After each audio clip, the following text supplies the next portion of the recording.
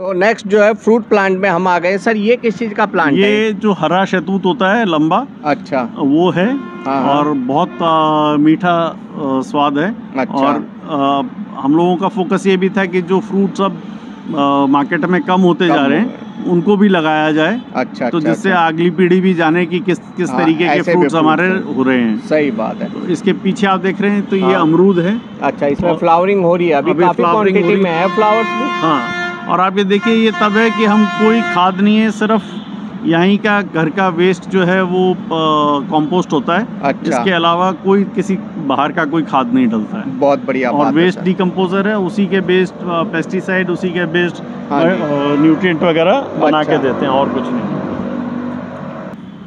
तो ये बहुत सुंदर से फूल आ रखे हैं। सर ये किस चीज़ का प्लांट है? बीच में हमने कपास है ये ऑर्गेनिक कपास है। पाँच साल से हम सीड कर रहे हैं मेरे एक फ्रेंड है। हाँ हाँ। उन्होंने मेरे को इसका सीड ला दिया था ऑर्गेनिक अच्छा। सीड ला दिया था हाँ कि कभी के उनके ऊपर कोई केमिकल यूज़ नहीं हुआ। अच्छा। अब हमारे यहाँ है पाँच साल से तो।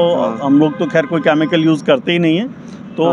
पूजा से जितना हमें पूजन में घर में ज़रूरत पड़ती है हाँ। उससे ज़्यादा कॉटन हो जाता है हमारे अच्छा। लिए। तो ये बताइए बहुत से लोग अभी भी नहीं समझ पाएँगे कि ये कपास क्या चीज़ है। कॉटन जिसे हम कहते हैं हाँ हाँ। तो उसको उसको हिंदी में कपास कहा जाता है। अच्छा। तो अब दो उसमें नए वैरायटीज भी आने लगे हैं हाँ। नरमा वरमा हाँ तो ये कपास है। तो रुई जो होती है रुई है। रजाई में भरी जाती है बिल्कुल वही है जिसकी बत्ती बना के आप दीप पूजन में काम तो लेते उसी हैं। का प्लांट है ये। उसी की रुई का प्लांट है ये। तो दोस्तों आप लोग देख सकते हैं ये जो प्लांट है इसी में से जो है रुई जो निकलती है जिससे बैंडेज बनती है अपनी और पूजा में काम में लेते हैं और रजाई में भरने काम आते हैं। बहुत से लोगों ने जो है देखा नहीं होगा आप लोग जो है सर के गार्डन में सर की सहायता से जो है ये देख पा रहे हैं आप लोग। और नेक्स्ट जो है ये ट्री और है ये जस्ट इसके पास में ही ये किस चीज़ का है सर? ये सीताफल है। अच्छा। और बहुत मीठा फ्रूट लगता है। इंग्लिश अच्छा। में इसको कस्टर्ड एप्पल भी कहते हैं। हाँ हाँ।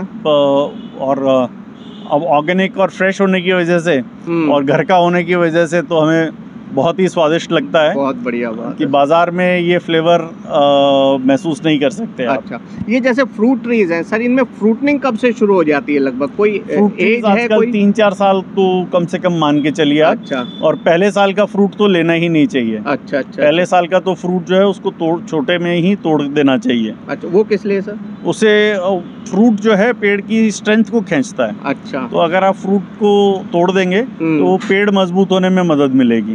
बहुत बढ़िया बात है सर बहुत इंटरेस्टिंग जानकारी। देखिए ये अंजीर वाला है। अंजीर है ये। जी।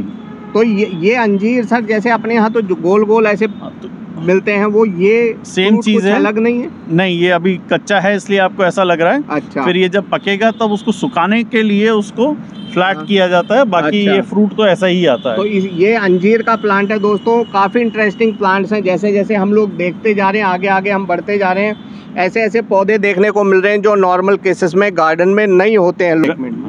हाँ जी सर तो आप बता रहे थे ये किस चीज़ का प्लांट है? सर कैक्टस है ये कुछ? ये एक्चुअल में तो कैक्टस ही है हाँ हाँ। पर इस पे फ्रूट भी लगता है जो आजकल बहुत फ़ेमस और काफ़ी महँगा है। अच्छा। आ, शायद सौ डेढ़ सौ रुपए का पीस आता है। हाँ तो ये ड्रैगन फ्रूट है। अच्छा ये ड्रैगन फ्रूट है इस पे लगता है ड्रैगन जी हाँ अब ये इसमें अच्छा, ऊपर अच्छा, फ्रूटिंग अच्छा। आएगी टिप पे। ये मेच्योर हो गया है प- अ, पेड़ तो अच्छा इसमें अच्छा। इस साल नहीं आया तो अगले सीज़न में तो ज़रूर आएगा। बहुत इंटरेस्टिंग सर बहुत इंटरेस्टिंग ऐसे ऐसे प्लांट जैसे मैं बोल ही रहा था तो ये ड्रैगन फ्रूट है तो इसमें जो अंदर पर्पल वाइट उस टाइप का निकलता है? हाँ अब ये वाइट है उधर अभी छोटे अच्छा। मैंने नए लगाए हैं हाँ वो अंदर से पिंक है। अच्छा तो अच्छा। तीन आते हैं एक अंदर से वाइट आता है एक पिंक आता है एक येलो आता है। बहुत अच्छी बात है सर बहुत अच्छी बात है। तो ड्रैगन फ्रूट हमने हमको देखने को मिला। और नेक्स्ट आप जो है ये मेरे पीछे एक लगा हुआ है शायद चीकू है ये क्या है? हाँ ये चीकू है। अच्छा। और उसके पीछे आप देख रहे हैं वो बादाम है। अच्छा वो बादाम का पेड़ है काफ़ी लंबा सा जो पेड़ है ये बादाम का है।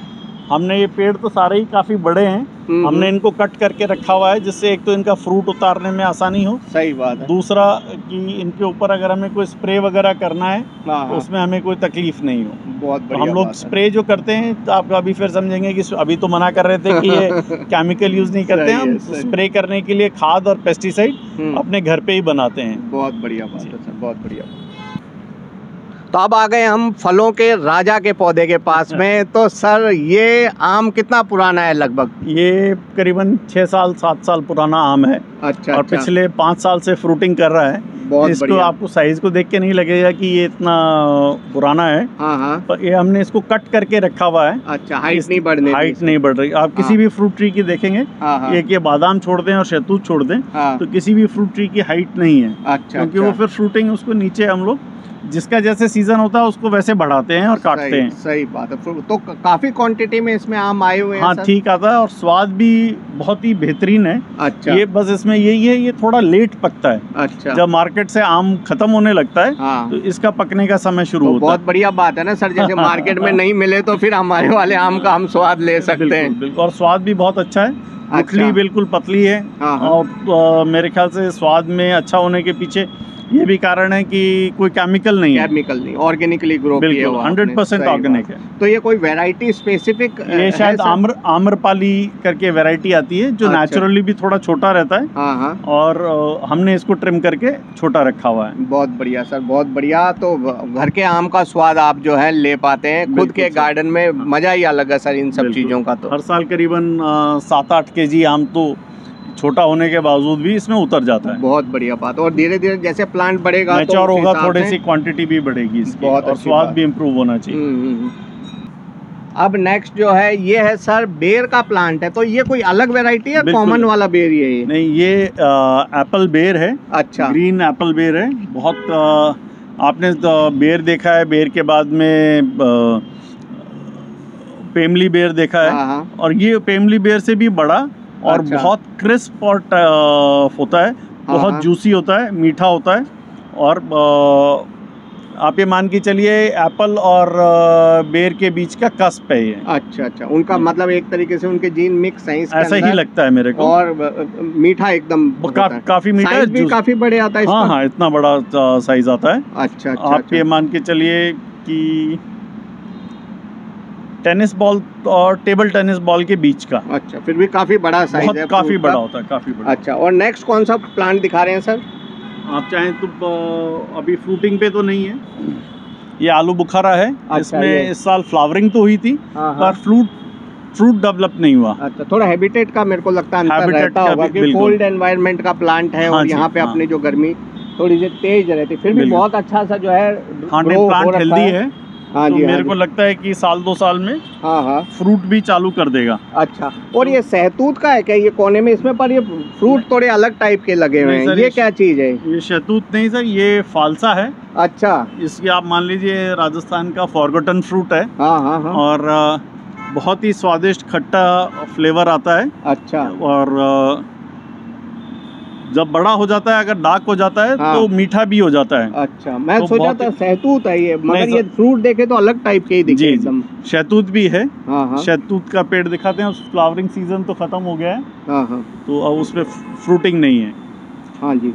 तो ये फालसे का आप बता रहे थे। जी। तो इसमें जैसे ये बेरी जैसे लगे हैं ये। बिल्कुल ये ही फालसा है। अच्छा। तो अभी आप ये मतलब मैंने देखा है कि एमपी राजस्थान इस एरिया में ही शायद ये अवेलेबल रहता है। ऑल इंडिया बिल्कुल। वाला फ्रूट नहीं है ये। नहीं ये नॉर्थ अपने नॉर्दर्न इंडिया में अच्छा। गर्मी के एरिया का है। हाँ, पर हाँ। मेरे ख्याल से सर्दी में भी हो जाएगा। नीचे साउथ में भी हो जाना चाहिए। अच्छा अच्छा। और बहुत ही स्वादिष्ट है। हम्म, और लोग जितना कहते हैं बताते हैं कि आपको फ्रूट ट्रीज के साथ ये करना है वो करना है।